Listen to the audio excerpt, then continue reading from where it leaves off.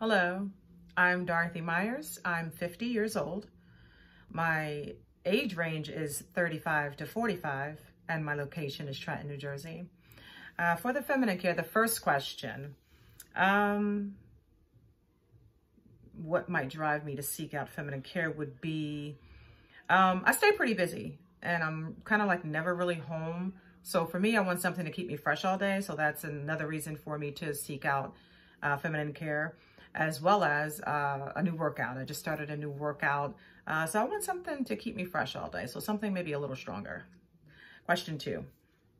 Uh, yes, I do participate in the activities, as I just mentioned about the working out. I do an extreme heavy full body workout called a HIIT. And of course it leaves me sweaty and I love to walk. So those two right there uh, would actually be my activities. Uh, any struggles uh, with shaving? Question number three. I have either had the razor too close where it actually scratched me or actually had it where it actually irritated me similar to almost kind of like uh, rubbing up against me, kind of I guess like chafing, like irritation. Uh, so yes, I have.